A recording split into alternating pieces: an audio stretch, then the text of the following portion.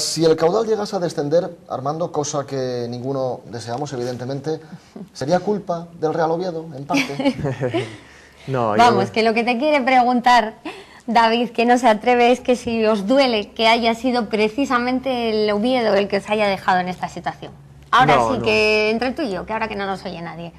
No, yo creo que no podemos eh, en ningún caso culpar al Oviedo porque lo que te digo, ellos, eh, yo hablo con muchos jugadores y lo sienten mucho por, por nuestra situación y porque nos hayan ganado, pero ellos, yo, yo estuve, formé parte de esa plantilla, tienen unas exigencias muy grandes con su afición, con la prensa y jugándose contratos de renovación. Y yo creo que, que la culpa eh, en todo caso sería nuestra porque éramos el equipo que nos jugábamos tres puntos importantísimos y además a lo largo de una temporada no puedes decir que perdiste por un partido o por otro.